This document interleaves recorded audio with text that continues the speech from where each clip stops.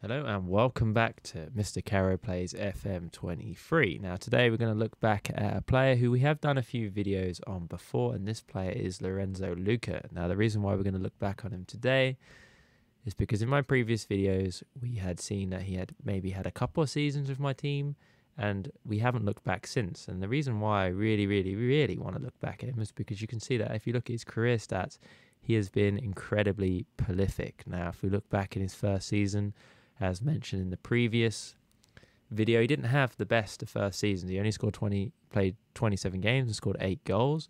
And then if we look back to season after, he played 51 games and scored 54 goals. And then uh, as you can see, that has basically been the tune of all the previous seasons or the next couple of seasons along. Now, maybe not as prolific in every season, however, he is incredibly consistent.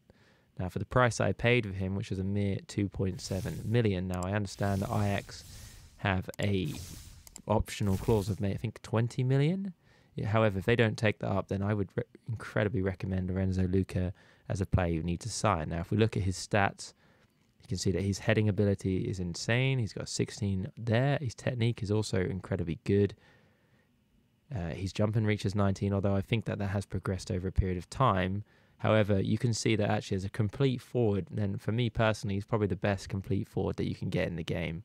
Now, I, like I say, if you were to sell him, you could easily make a hundred million pounds, I'd say, out of this kind of player. I mean, he's he didn't get in the Italian squad as quick as he might have done for me. I mean, I, I was kind of shocked that he didn't. But since he's been in there, he scored 12 in 15 caps. And I think he didn't actually make his international debut until 2028. So yeah, only a couple, only last year he made his international debut. So it's kind of a crazy kind of scenario. In fact, he scored in his first game. So yeah, it's kind of crazy in some ways. However, you know, someone like Lorenzo Lucca's certainly someone you should try and look to sign. Thank you for watching this video. Please give me a like and a subscribe. Thank you and goodbye.